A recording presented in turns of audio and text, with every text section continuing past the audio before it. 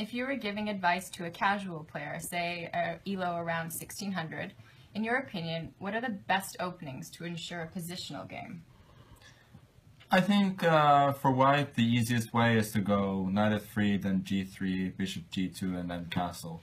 That's uh, because then you can uh, you can get so many different pawn structures. Uh, in the center, you can go for d4, c4.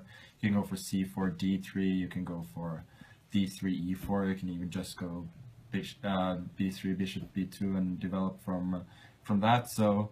Um, in I think that's a good opening just to to uh, be able to play different pawn structures and uh, and a relatively quiet game.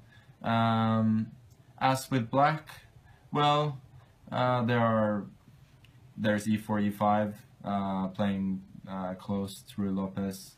I think that's a good way for anyone who, who wants to get better at positional chess to try and understand um, these uh, positions. Great.